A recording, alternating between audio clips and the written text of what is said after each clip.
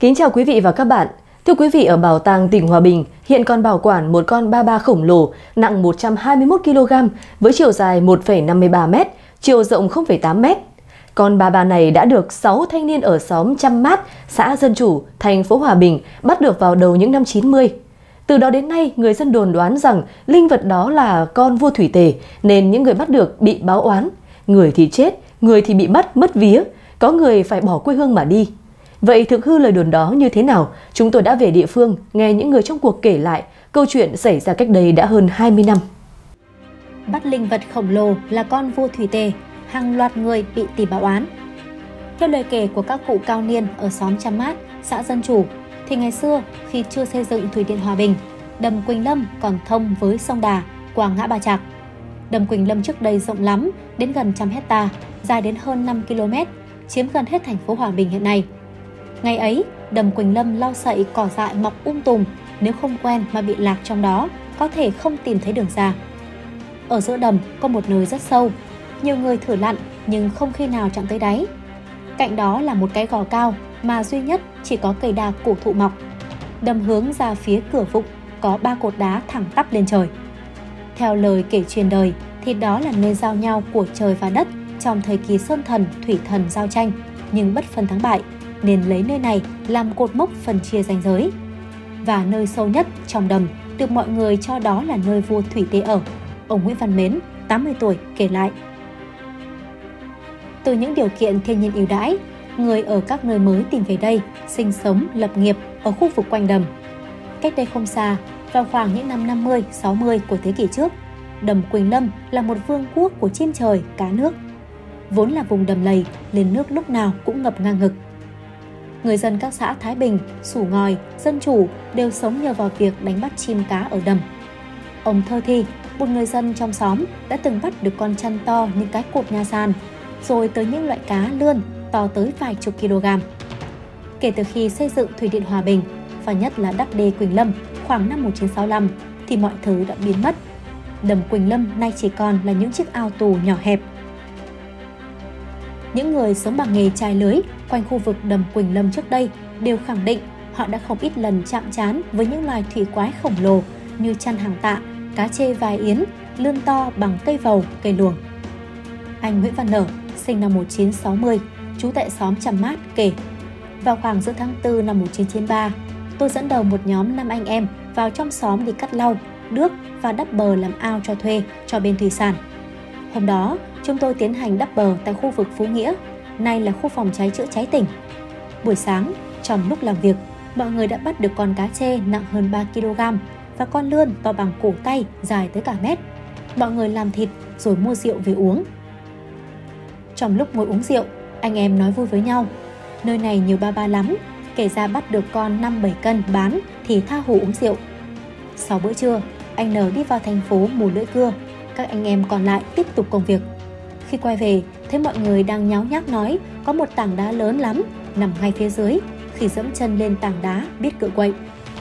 Không tin, anh Nở nói với anh Bùi Văn Bàn xuống tìm thử. Khi dẫm trên lên tảng đá, thì đúng là nó biết cử động, làm anh Bàn ngã rúi rụi.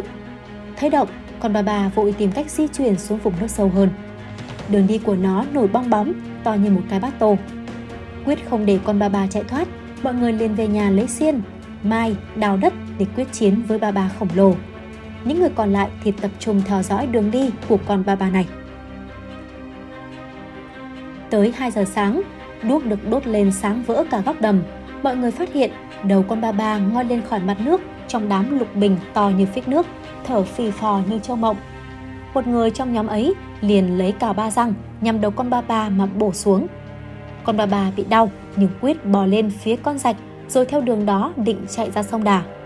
Lúc này, mọi người chẳng ai bảo ai, liền nhảy cả xuống chỗ con ba ba đang di chuyển. Người đứng trên lưng, người lấy đinh ba, cào ba răng, mai, xẻng đánh mạnh vào lưng. Trong nhóm có anh Nguyễn Văn Sướng, tuy là người ít tuổi nhưng lại rất bạo gan. Sau khi lặn tìm chân con ba ba, đã không may sờ vào miệng, bị nó đớp một nhát.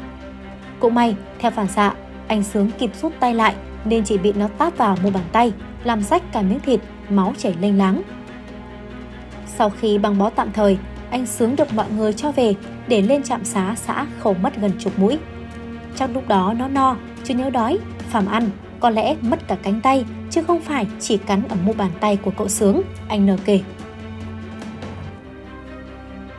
Lúc này, con bà bà quyết leo lên bờ đập bò thoát thân. Khi cả thân hình con bà bà vừa lộ ra khỏi mặt nước thì cũng là lúc những người có mặt hốt hoảng bởi nó quá to, trông như một con quái vật miệng phát ra tiếng thở phì phì như châu mộng, làm cho ai chứng kiến cũng cảm thấy lạnh sống lưng, tóc gáy dựng đứng. Có người toàn bỏ chạy, bởi từ lúc xa sinh mẹ đẻ, chưa khi nào nghe kể về con ba ba to như thế. Sau một thoáng giật mình, nhưng nghĩ tiếc công chiến đấu với con ba ba cả ngày trời, nên mọi người lại hò nhau ba vây, dùng đòn sóc chặn đường, rồi xuống vào nắm lấy chân lật ngửa con ba ba lên. Đúng là ở dưới nước, con ba ba có sức khỏe phi thường, Kể cả trên bờ, nó cũng có thể kéo lê tất cả những thứ cố ngăn cản lại. Nhưng khi đã bị lật ngửa lên thì con ba ba trở nên vô hại. Bốn chiếc chân cứ ngoái lộn lên không trung, anh N kể. Lúc này, mọi người dân dùng dây chảo trâu buộc cả bốn chân con ba ba này lại như buộc lợn.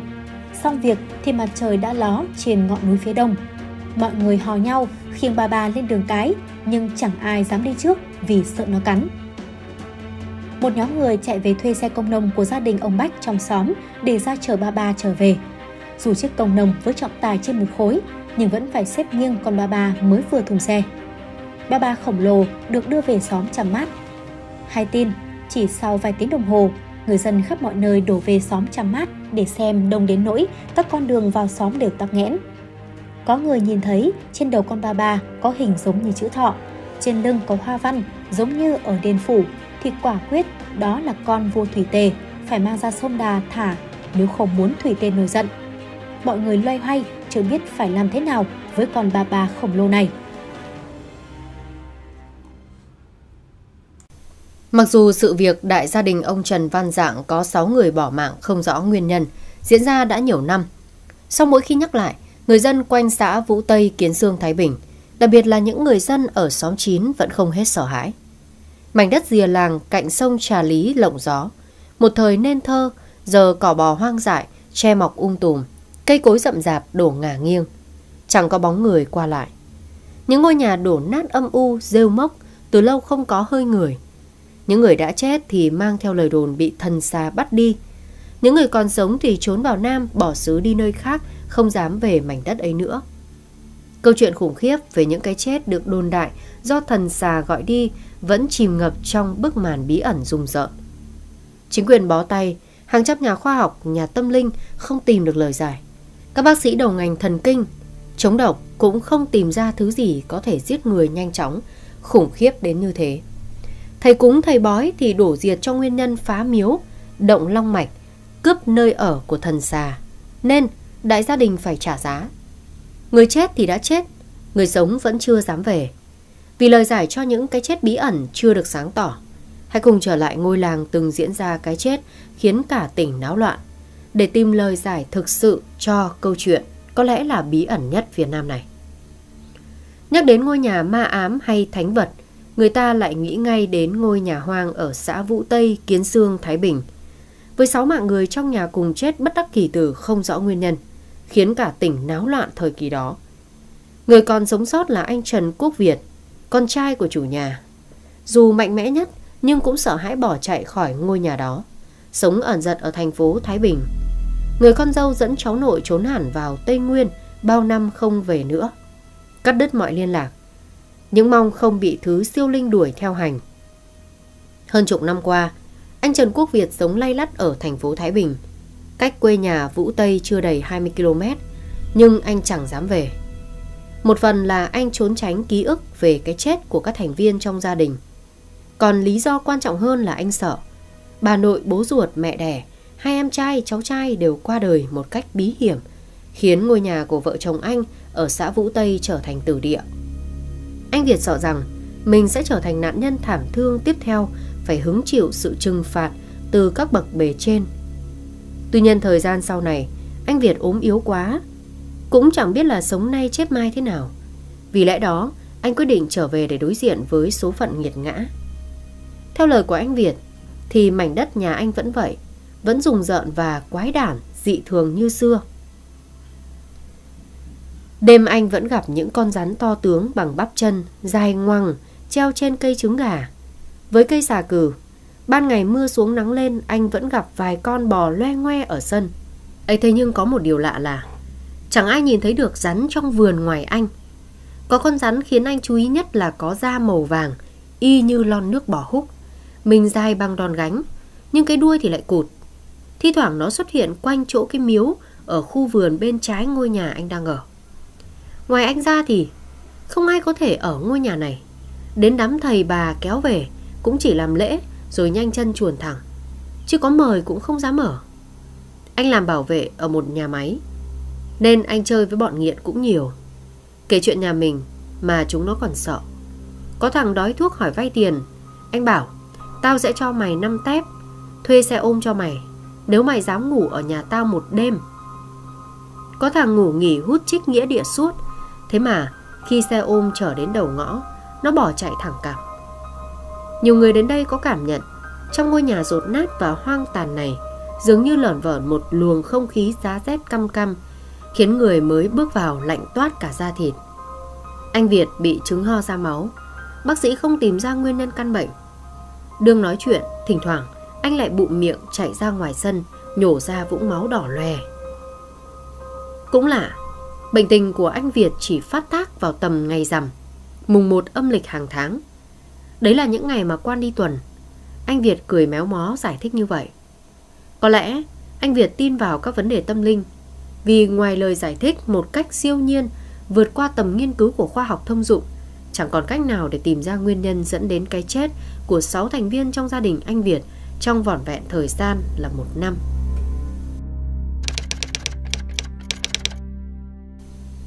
Bố anh Việt là ông Trần Văn Dạng, sinh năm 1936, mẹ là Nguyễn Thị Đào, sinh năm 1940. Vợ chồng ông Dạng đẻ tới 8 người con, gồm 4 trai 4 gái. Vợ chồng làm nông nghiệp nên con cái cũng chỉ đủ ăn chứ chẳng được học hành gì. Vợ chồng ông Dạng cũng chịu khó cày cuốc, nuôi con gà, tăng gia đàn lợn, rồi lần lượt dựng vợ gà chồng cho 8 người con. Một người con trai bỏ xứ vào Nam lập nghiệp, một người thì xin làm công nhân ở thành phố Thái Bình. Hai cậu con trai gồm cả và thứ ba ở với bố mẹ. Mấy người con gái thì đi lấy chồng. Cô lấy chồng trong mãi Tây Nguyên Cô lấy chồng ở xã khác, xóm khác. Dù chỉ làm nông nghiệp gắn bó với cây lúa củ khoai, song do chắt chiu tích cóp nên những người con của cụ giảng cũng dần ổn định cuộc sống, xây dựng, sửa sang được nhà cửa. Người con cả Trần Văn Viết được vợ chồng ông Giảng chia cho mảnh đất trước ngôi nhà ngói mà cụ đang ở. Vợ chồng anh Viết đã dựng được ngôi nhà dù là cấp 4, song rộng rãi khang trang, tường bao quây kín người con trai thứ ba tên là Trần Văn Út. Sau khi lấy vợ vài năm, sinh con đẻ cái, tích góp được ít tiền, đã xin bố mẹ cho ra ở riêng. Đất đai rộng rãi nên vợ chồng ông Giảng đã cắt một mảnh rộng chừng 200 mét vuông phía sau về bên trái ngôi nhà của mình cho ông Út. Ông Trần Văn Út dựng tạm một ngôi nhà cấp 4 nho nhỏ, chỉ cỡ 30 mét vuông ở tạm.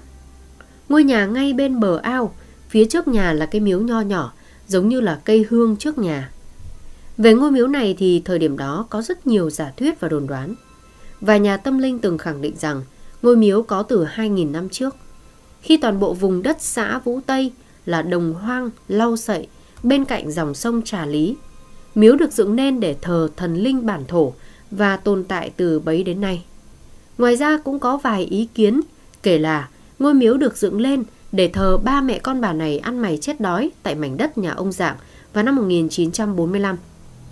Thử hư thì không rõ, song điều chắc chắn là ngôi miếu này từng xuất hiện một con rắn lớn quấn quanh bát nhang.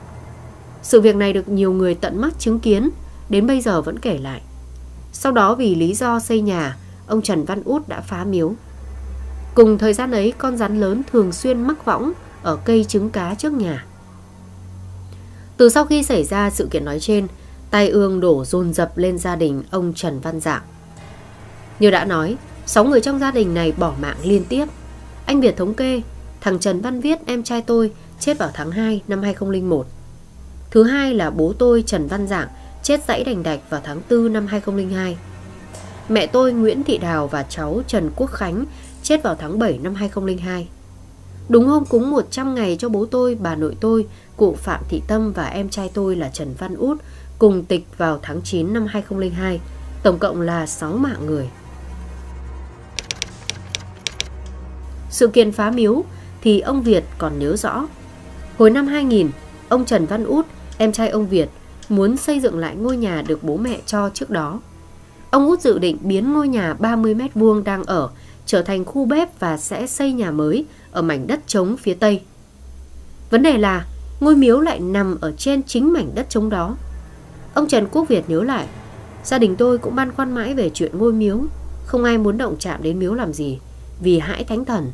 Nhưng mà, ngôi nhà của chú út bé quá, hai vợ chồng với hai đứa con ở thì quá chật trội, cho nên chẳng còn cách nào khác là di rời ngôi miếu đi. Tiếng là di rời, song thực chất là đập bỏ ngôi miếu cũ, xây miếu mới ra sát bờ ao cạnh bụi tre già. Hôm phá miếu, gia đình thuê thầy cúng ở xã bên đến làm lễ, xin với thần linh cho di rời miếu. Ông thầy gieo quẻ âm dương, chỉ một lần là được ngay. Ai cũng hoan hỉ cho rằng thần linh đã chứng giám và đồng ý với phương án di rời. Ông Trần Văn Út dùng xà beng đâm nhát đầu tiên, sau đó ông Trần Văn Viết, anh trai của ông Út, cũng mang sẻng giúp một tay. Chưa đầy một tiếng đồng hồ, ngôi miếu nhỏ đã biến mất. Thay vào đó là một đống gạch vỡ vụn Chuyện lạ lùng xảy ra sau đó vài tiếng, ông Việt kể. Khoảng 5 giờ chiều cùng ngày, con rắn to bằng ống điếu cày. Cỡ cổ chân của người lớn, dài khoảng 3 mét. Treo thân lủng lẳng trên ngọn cây trứng gà. Chính là con rắn vẫn quẩn quanh ở miếu. Khiếp hồn mọi người thống nhất tạm dừng công việc rồi đi gọi ông thầy cúng lúc trưa ở xã bên cạnh. Khi ông thầy này đến, vừa nhìn thấy con rắn, ông thầy cúng trợn mắt Buồn rồn tay chân, cứng hàm không nói được gì cả. Mọi người phải đỡ ông vào chỗ mát, sức dầu gió. Người bóp tay, bóp chân, người day thái dương. Vài phút sau ông thầy cúng mới tỉnh lại. Tuy nhiên, vừa sực tỉnh, ông chạy đến gần chỗ con rắn đang treo mình, đập đầu vái lại rồi vội vã bỏ về, từ đó không bao giờ quay lại. Phản ứng kỳ quái của thầy cúng khiến gia đình ông Việt thêm một phen hoảng hồn. Họ bỏ dở dự định xây nhà cho ông út suốt một thời gian dài.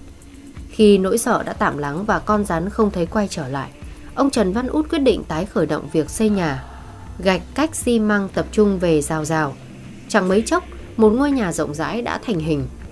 Ông Trần Quốc Việt kể, cái hôm chuẩn bị đổ mái nhà thằng Út, thằng Viết tự dưng rú lên sợ hãi, rồi lăn đùng ra đất co giật.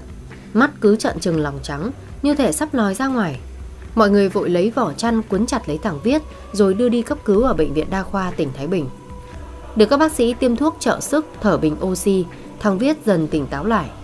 Suốt mấy ngày ở bệnh viện, các bác sĩ đã cho chiếu chụp tim, phổi, não, xét nghiệm máu, nhưng tuyệt nhiên không tìm ra bệnh gì. Nằm viện vài hôm khỏe lại như thường, thằng Viết được xuất viện. Về đến nhà vài hôm, ông Viết lại rú lên như cũ. Ông lại tiếp tục được đưa đến bệnh viện, lại hồi phục và lại quay về. Ba lần như thế bác sĩ không tìm ra bệnh. Vẫn lời ông Việt, lúc bấy giờ bệnh viện có thằng Tuấn thạc sĩ nó bảo cho nhà tôi chuyến xe đưa thằng Viết sang đền Trần Nam Định, tội vạ đâu nó chịu. Nhưng mà có kịp đi đâu. Hôm đầu tháng 2 năm 2001, thằng Viết vừa ăn xong thì nôn không còn tí nào cả, dãy đành đạch, rồi chết thẳng cẳng. Nó chết đầu tiên, tiếp theo là năm mạng nữa. Những cái chết kỳ bí, không tìm ra nguyên nhân ở ngôi nhà này thực sự quá kỳ lạ và ám ảnh. Ngày đó có cả trăm nhà khoa học tìm về để nghiên cứu, gửi mẫu đất, nước, thực phẩm sang cả nước ngoài để nghiên cứu. Một đồng chí khi đó là Phó Chủ tịch UBND tỉnh Thái Bình phải đứng ra chỉ đạo giải quyết vụ việc chấn động dư luận. Thưa quý vị, cho đến tận bây giờ, mỗi khi nhắc lại vụ việc đại gia đình chết thảm tại Thái Bình sau khi phá miếu để xây nhà, nhiều người dân nơi đây vẫn không khỏi bàng hoàng kinh sợ. Sau khi phá miếu, tấn bi kịch bắt đầu khi liên tiếp các thành viên cho gia đình của ông Trần Văn Rạng qua đời một cách kỳ lạ. Xin mời quý vị tiếp tục tìm hiểu kỳ án bí ẩn này trong phần 2 của chương trình nghe sau đây. Như đã nói ở kỳ trước, căn nhà của gia đình ông cụ Trần Văn Dạng Vũ Tây Kiến Sương Thái Bình gần như sắp đổ sập do thời gian bị bỏ hoang quá lâu. Tuy nhiên ngay bên cạnh ngôi nhà sập sệ tan nát ấy, ở phía đầu hồi hướng Tây lại là một ngôi miếu khá đàng hoàng khang trang. Ngôi miếu không lớn nhưng được xây cẩn thận, chín chu và còn khá mới. Do muốn cơi nới căn nhà cũ, gia đình ông Dạng đã quyết định phá miếu.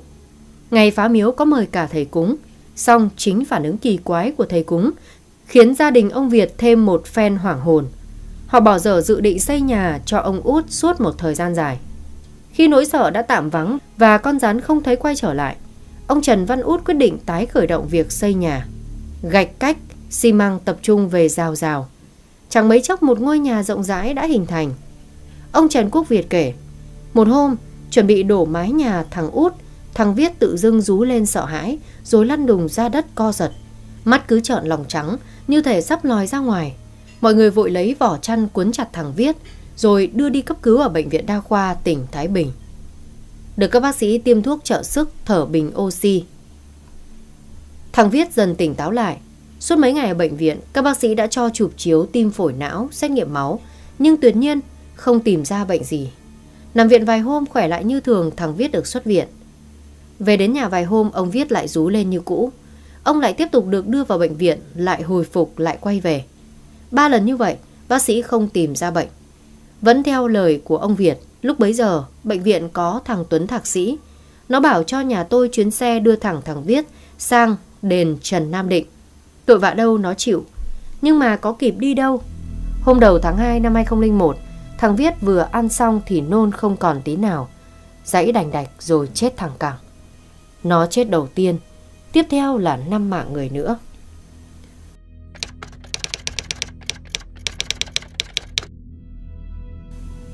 Cụm từ chết dãy đành đạch từ miệng của ông Trần Quốc Việt nói ra để miêu tả cái chết của cha ruột, khiến nhiều người nổi da gà và cực kỳ ám ảnh.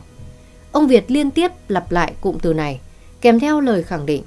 Những người nhà này cứ ăn xong dứt mồm là dãy lên đành đạch, dứt khoát là phải ăn một miếng gì đó thì mới chết. Không hiểu tại sao nhưng tôi khẳng định phải ăn rồi mới bị. Giống như kiểu các ngày bắt phạt vậy. Cái chết của cụ Trần Văn Dạng vào tháng 4 năm 2002 cụ thể như thế này. Cụ Dạng là nông dân, cả đời chỉ quay quắt với cây lúa, củ khoai. Cụ vốn không phải là người tin thần tin quỷ, thậm chí còn thường hay báng bổ. Thời trước, khi mua mảnh đất từ nhà hàng xóm tên là ông Trịnh, với ngôi miếu cũ, cụ Dạng cũng không cố kỵ gì hết. Cụ thường nói với con cháu rằng đó chỉ là ngôi miếu thờ thiên bình thường, không có gì đáng ngại. Ngay cả khi chứng kiến con rắn lớn thường xuất hiện tại miếu, cụ cũng chép miệng bảo, xung quanh đây toàn che pheo lau sậy, thì có vài con rắn cũng không có gì là lạ. ấy thế mà, từ sau cái chết của người con trai Trần Văn Viết, cụ dạng bỗng dưng thay đổi hẳn. Cụ đâm ra sợ hãi và lo âu quá độ. Theo lời kể của một vài nhân chứng, người ta thường thấy cụ dạng đứng thẫn thờ như người mất hồn trước đống đổ nát của ngôi miếu cũ bị đập đi để chuẩn bị làm nhà cho ông Trần Văn Út. Sau đấy cụ lại ngẩng đầu, nhìn rất lâu vào cây trứng gà, nơi có con rắn lớn treo mình lòng thòng sau buổi phá miếu. Năm 2002, khi ấy cụ dạng 66 tuổi, sức khỏe vẫn tốt, nhưng tinh thần xuống dốc trầm trọng. Hàng xóm vẫn nhớ Cụ dạng từng kể với họ về giấc mơ cực kỳ hãi hùng, trong đó một con rắn khổng lồ đen ngòm như mực, miệng há đỏ au, tựa cái giếng nuốt trọn từng thành viên trong gia đình cụ dạng.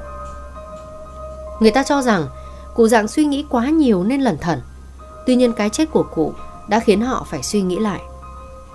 Hồi tưởng chuyện cũ, ông Trần Quốc Việt kể, tháng 4 năm 2002, đến lượt ông già bị.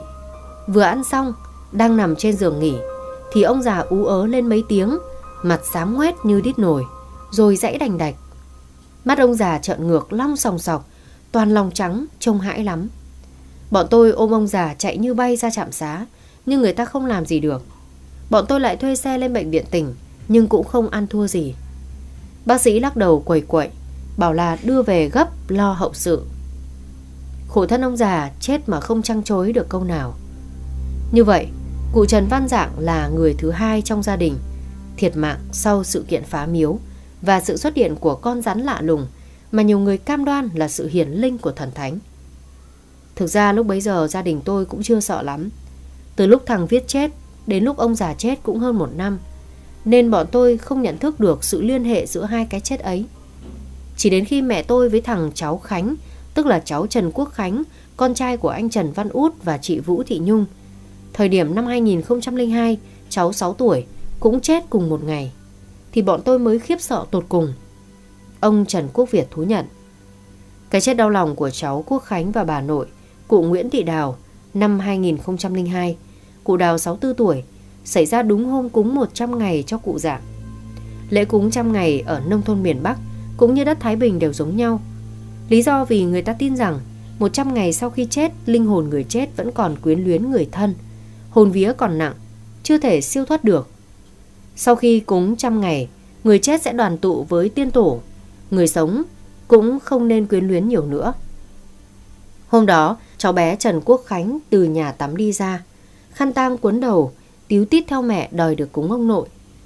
Thằng bé Khánh sống với ông từ nhỏ, được ông nội bồng bế chăm bẵm từ khi lọt lòng, nên quấn ông hơn cả bố mẹ. Mới 6 tuổi nhưng Khánh khôn lớn phỏng phao, da trắng như bột, đôi mắt to, đen láy, toát lên vẻ thông minh láo lỉnh. Từ ngày ông mất, bé Khánh rất buồn, thi thoảng nhìn di ảnh ông nội, Khánh lại khóc đòi ông. Hôm trước khi cụ Đào và mấy người ra mộ của cụ dạng dọn cỏ, Khánh cũng đi theo. Sáng hôm cúng 100 ngày, mọi người thắp hương ở mộ, Khánh cũng thắp hương cho ông, đòi ông về bế Khánh. Do nghĩa địa xâm xấp nước, lầy lội bùn đất dính lên quần áo, nên Khánh được mẹ tắm táp cho sạch sẽ. Vừa tắm xong, Khánh đã đòi ngồi cúng ông nội cùng với mọi người. Khánh vừa ngồi xuống, chắp tay lại ông, chưa nói câu gì bỗng lăn đùng ra chiếu. Hình ảnh về sự ra đi đau đớn thương tâm của cháu Khánh vẫn in hẳn trong tâm trí của ông Việt. Không biết vì lý do gì hay sự ra tay độc ác của thế lực vô hình nào, đứa trẻ mạnh khỏe tự dưng lăn ra chiếu, lên cơn co giật, chân tay co quắp, miệng sùi bọt mép lều phèo, ngáp lên mấy cái thật dài rồi cháu tắt thở. Không ai kịp phản ứng gì thì đứa bé vài phút trước còn hoạt bát tươi tắn đã rũ ra như tàu lá chuối. Không dừng lại ở đó, hàng loạt người có mặt trong buổi cúng 100 ngày của cụ dạng đều lăn ra bất tỉnh nhân sự. Rất may một lúc sau thì hầu hết đều tỉnh lại. Riêng cụ Nguyễn Thị Đào, ông Trần Văn Út và vợ là bà Nhung rơi vào tình trạng nặng nhất. Ông Trần Văn Út và vợ là bà Nhung rơi vào tình trạng nặng nhất. Cả ba mẹ con cụ đào đều bị những cơn co giật rúm người. Mặt mũi méo sạch, mắt mũi trợn ngược, nhìn rất hãi hùng. Ông út đang ngồi trên ghế mà cơn co giật mạnh đến nỗi, đổ ghế bật ngửa ra sau bất tỉnh. Đại gia đình đã xuống vào đưa cụ đào, ông út, bà Nhung đi cấp cứu tại Bệnh viện Đa khoa tỉnh Thái Bình. Cũng như trường hợp của ông Viết, cụ dạng hay cháu Khánh, bác sĩ không thể tìm ra nguyên nhân chứng co giật ngất xỉu của cụ đào. Người phụ nữ xấu số này được xác định đã tử vong trước khi đến bệnh viện. Thi thể của cụ được đưa về xã Vũ Tây để tổ chức mai táng. Trong khi người con trai là Trần Văn Út và con dâu là Vũ Thị Nhung tiếp tục nằm tại bệnh viện để được điều trị. Một lãnh đạo Ủy ban Nhân dân xã Vũ Tây Kiến Dương Thái Bình cho biết, thời điểm xảy ra tai họa với gia đình của ông Trần Văn Dạng, lãnh đạo xã chỉ đạo giám sát sự việc rất sát sao. Thời điểm đó thì bà Hà Thị Lãm, nguyên phó chủ tịch Ủy ban Nhân dân tỉnh Bảo, do nhiễm khí độc. Tuy nhiên sau đó lại không có kết luận gì về nguyên nhân. Người ta cũng không tìm ra khí độc tồn tại ở khu vực. Đa số người dân cũng không tin là có khí độc. Vì nếu có khí độc thì những người có mặt ở đó, thậm chí là người dân trong làng đều phải lăn ra ngất xỉu hoặc là chết, chứ không có chuyện giải rác vài người trong gia đình ông Dạng gặp hiện tượng đó.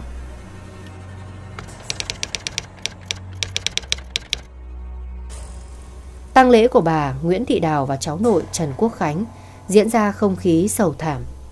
Người dân trong xóm xót thương rơi lệ, nhưng chẳng ai dám đến tiễn đưa.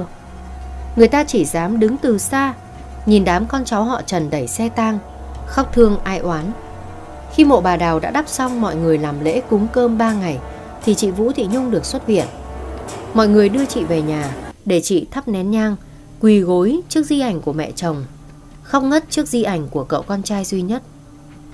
Không để chị Nhung lại ở lại lâu, gia đình đã đưa ngay về nhà cha mẹ đẻ ở xã Vũ Đông để tránh thảm họa được đồn đại là thánh vật đang diễn ra thảm khốc tại nhà chồng. Những ngày ở nhà bố mẹ đẻ dù vô cùng đau buồn vì cái chết của mẹ chồng, của cậu con trai duy nhất, rồi người chồng đang đấu tranh giành sự sống với tử thần ở bệnh viện. Nhưng chị Nhung không ngất lần nào. Thế nhưng, hễ cứ về nhà chồng lập tức là chị run lẩy bẩy, có dấu hiệu xảy ra hiện tượng bị co giật. Hãi quá, không ai cho chị về nhà nữa. Sau hơn nửa tháng điều trị tích cực ở Bệnh viện Đa khoa tỉnh Thái Bình, rồi một số bệnh viện ở Hà Nội, anh Trần Văn Út đã được ra viện. Mọi người khuyên can nên về nhà vợ ở xã Vũ Đông ở tạm. Chờ thời gian nữa hãy về nhà mình. Nhưng anh Út không nghe. Anh bảo rằng nếu Thánh Thần nhất quyết bắt anh thì dù ở nhà vợ hay ra nước ngoài, Thánh Thần cũng sẽ bắt được. Anh muốn về nhà hương khói cho bố mẹ, anh trai và cậu con trai duy nhất. Chị Nhung thấy chồng nhất quyết về nên cũng can đảm theo chồng về nhà. Và mất mát tiếp tục diễn ra đối với gia đình ông Dạng. Đó là sự ra đi đột ngột sau cơn co giật cứng người của anh Trần Văn Út.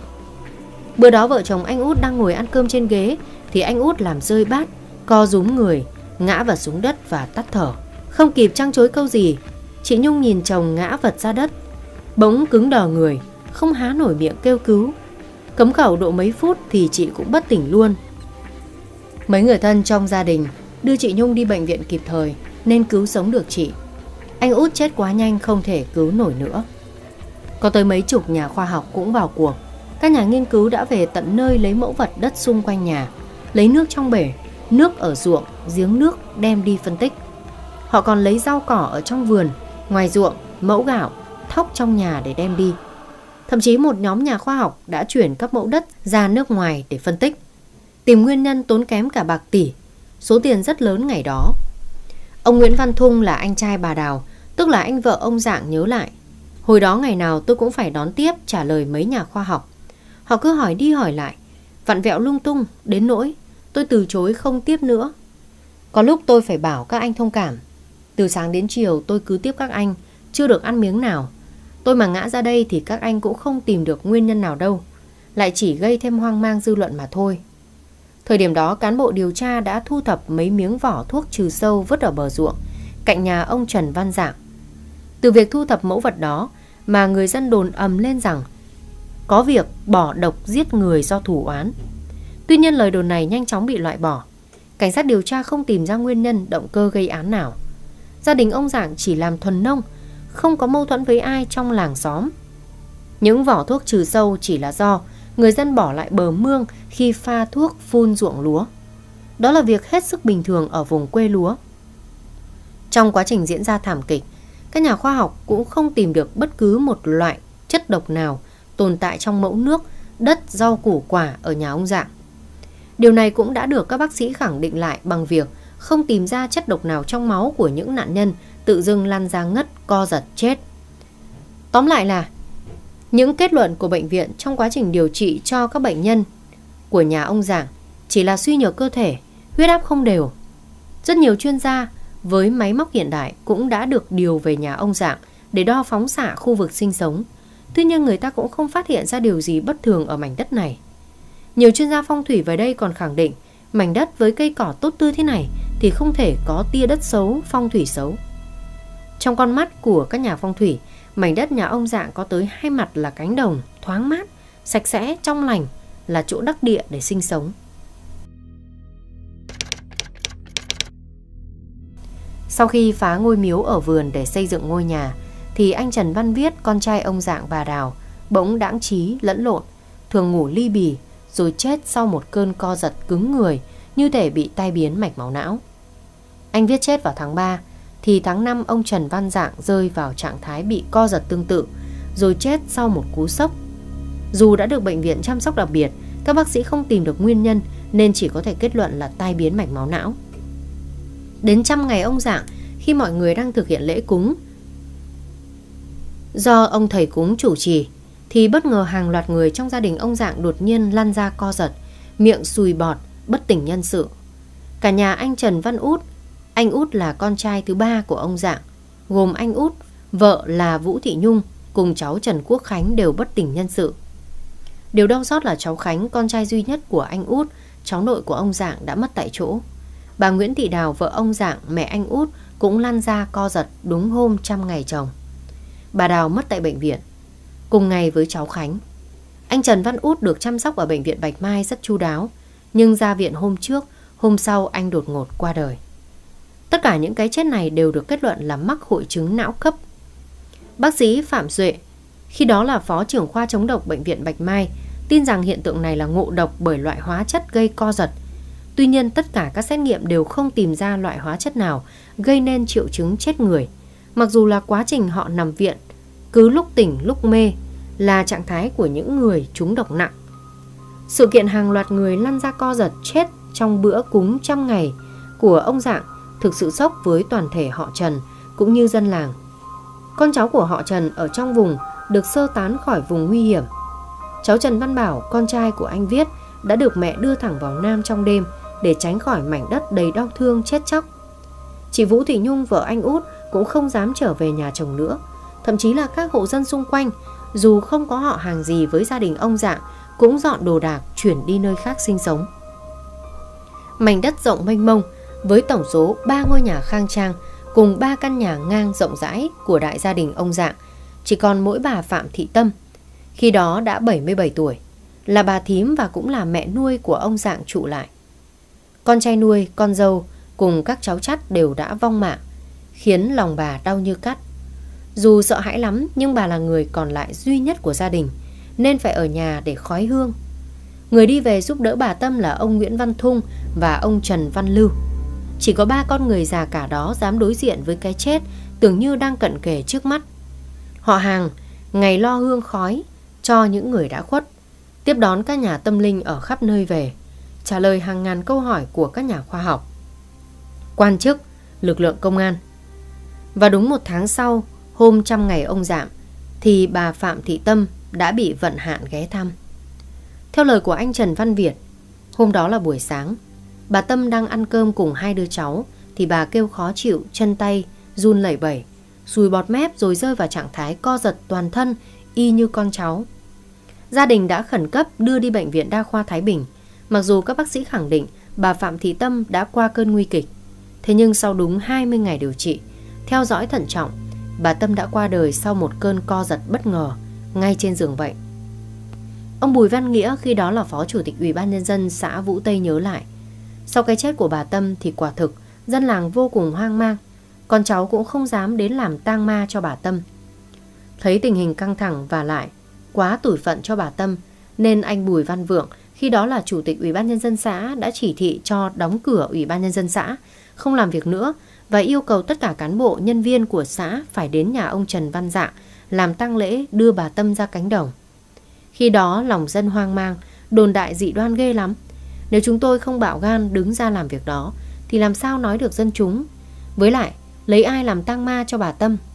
Nói thật khi đó anh chị em cán bộ xã cũng run lắm.